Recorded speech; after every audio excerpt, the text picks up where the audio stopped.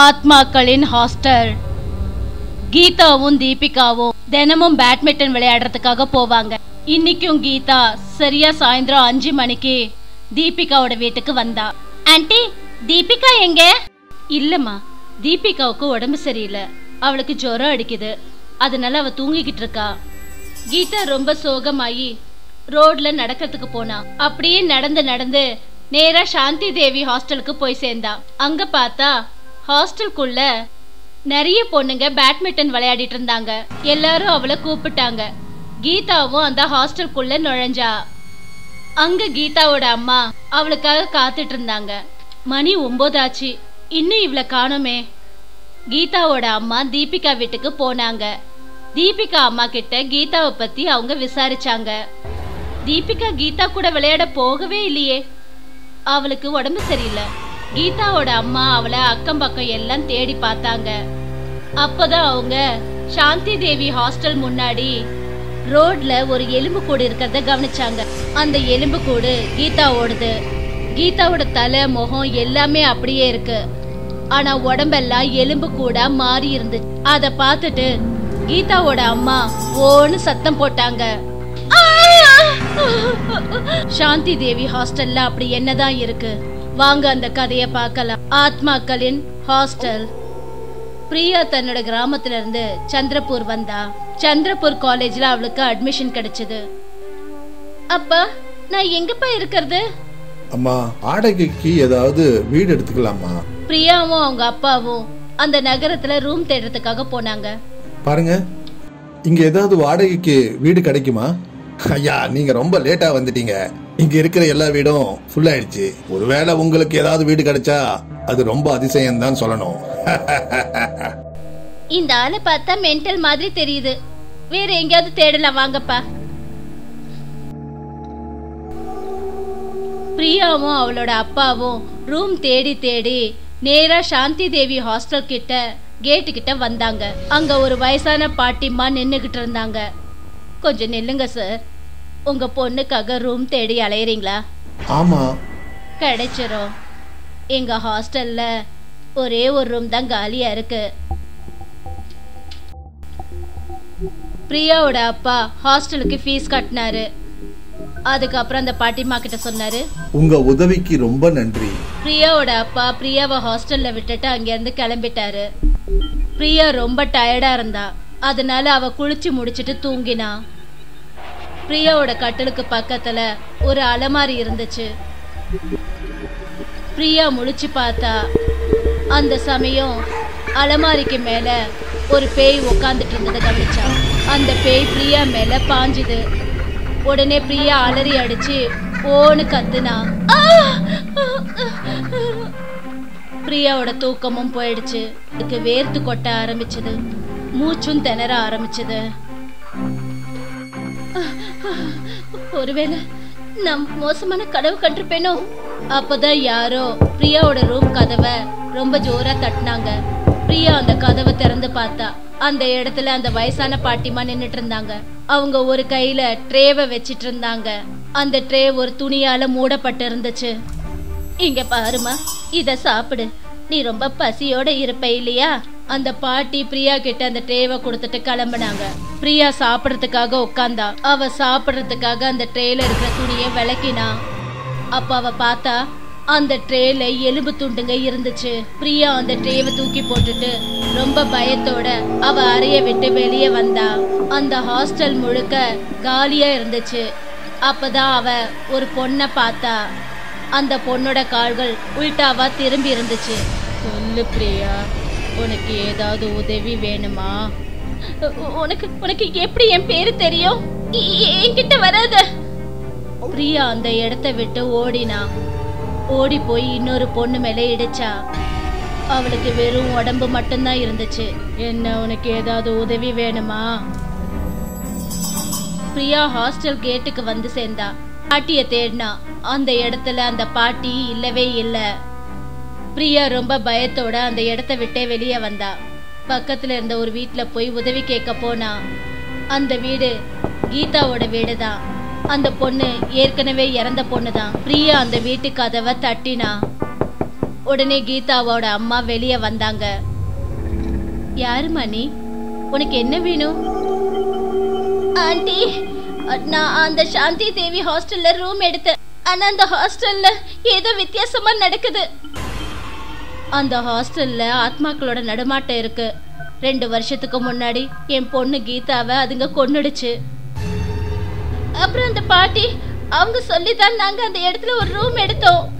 இங்க பாருமா அந்த கிழவி செத்து போய் இருபது வருஷங்கள் ஆயிடுச்சு. அதோட ஆத்மா அந்த ஹாஸ்டலை சுத்தி சுத்தி வந்துகிட்டு இருக்கு. நல்ல வேலையா நீ அந்த ஹாஸ்டலை விட்டு வெளியே வந்துட்ட.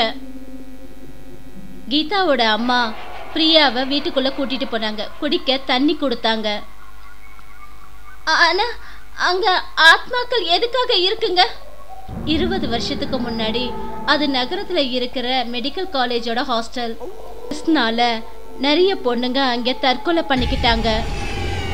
நீ விருப்பப்பட்டா என் வீட்லயே இருக்கலாம். அது மட்டும் இல்லாம என் பொண்ணோட மரணத்துக்கு அப்புறமா நான் இங்க ரொம்ப தனியா ஆயிட்டேன்.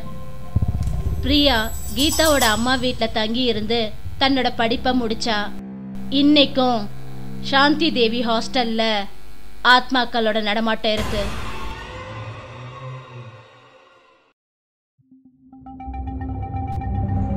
ஐஷ் வாடா மேட்ச் ஆடுறதுக்கு போலாம். மேட்ச் ஆடுறதுக்கு இடம் எங்கடா இருக்குது? கிரவுண்ட்ல தான் வீடு கட்டிட்டாங்களே. அந்த காட்டுக்கு பின்னாடி ஒரு காலேஜ் இருக்குடா.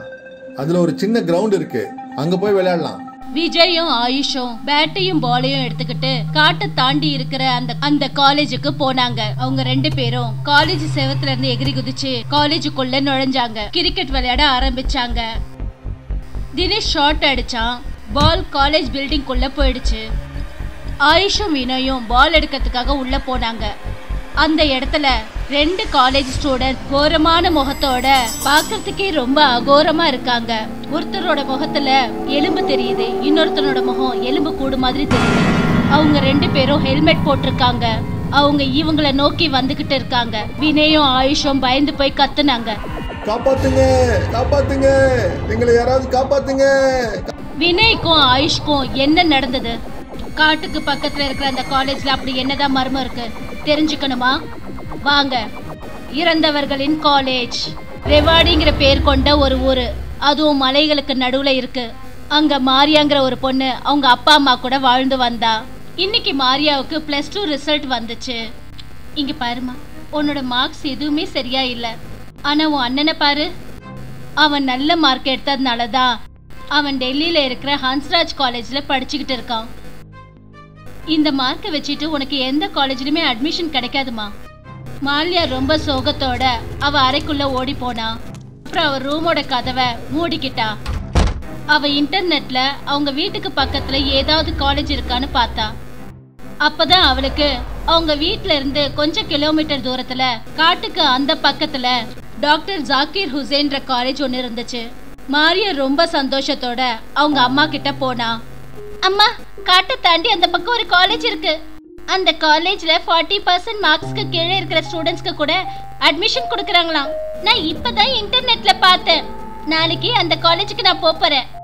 மால்யா மறுநாள் எல்லா டாக்குமெண்ட்ஸையும் எடுத்துக்கிட்டு அந்த காலேஜுக்கு போனா. அங்க மால்யா அவ ஸ்கூலோட சீனியர் மேகனாவை பார்த்தா. அட மேகனாக்கா நீங்க லாஸ்ட் இயர் ஃபெயில் ஆனதுக்காக சூசைட் பண்ணிக்கிட்டீங்க இல்லையா? உனக்கு என்ன பைத்தியம் பிடிச்சு போச்சா? எனக்கு இந்த காலேஜ்ல அட்மிஷன் கிடைச்சிருக்கு.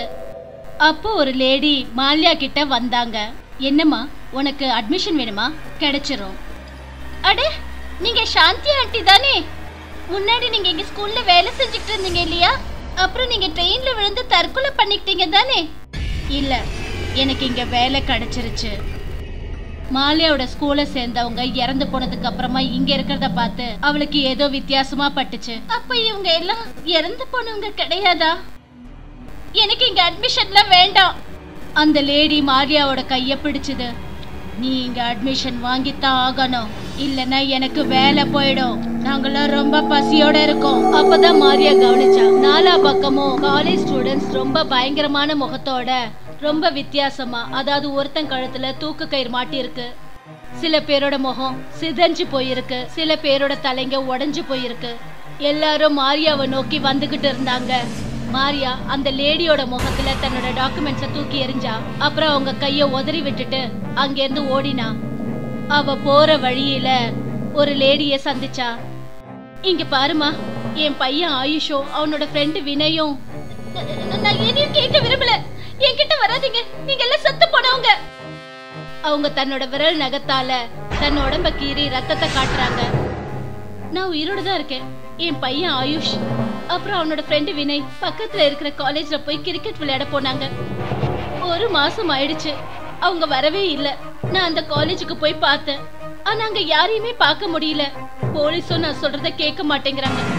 ஆண்டி நானும் அந்த காலேஜ்ல இருந்து தான் வரேன். அது இறந்தவங்களோட காலேஜ் அந்த இடத்துல செத்து போனவங்களோட ஆத்மா அலைஞ்சுகிட்டு இருக்குங்க. எனக்கு ஒரு பாபாவை தெரியும். மாரியாவும் அந்த ஆண்டியும் வீர் பாபாவை கூட்டிக்கிட்டு அந்த காலேஜுக்கு போனாங்க. எந்த பசங்க ஃபெயில் ஆயிட்டதுக்கு தற்கொலை பண்ணிக்கிறாங்களோ அவங்க கோரிக்கை நிறைவேறாம பேய்களா மாறிக்கிட்டு இருக்காங்க. ஆயுஷ் இன்னும் வினய அந்த கோரிக்கைகள் தீராத பேய்கள் தான் கொன்னுடுச்சு. அந்த ஆத்மாங்களுக்கு சாந்தி கிடைக்கிறதுக்காக பாபா யாக வளர்த்தாரு. அதுக்கப்புறம் அந்த காலேஜ்ல இருந்த எல்லா ஆத்மாக்களுக்கும் முக்தி கிடைச்சது. பாபா அக்கம் பக்கத்துல இருக்கிறவங்க எல்லாரையும் கூப்பிட்டு அவங்க கிட்ட பேசினாரு. பெற்றோர்கள் எல்லாரும் ஒன்று நல்லா புரிஞ்சுக்கிறது ரொம்ப அவசியம். அவங்களுடைய பசங்களை நிறைய மார்க் கொண்டு வரலன்றதுக்காக கஷ்டப்படுத்தக்கூடாது. வெறும் மார்க்குங்களால தான் வாழ்க்கை இல்லை. வாழ்க்கையில செய்ய வேண்டியது எவ்வளவோ இருக்குது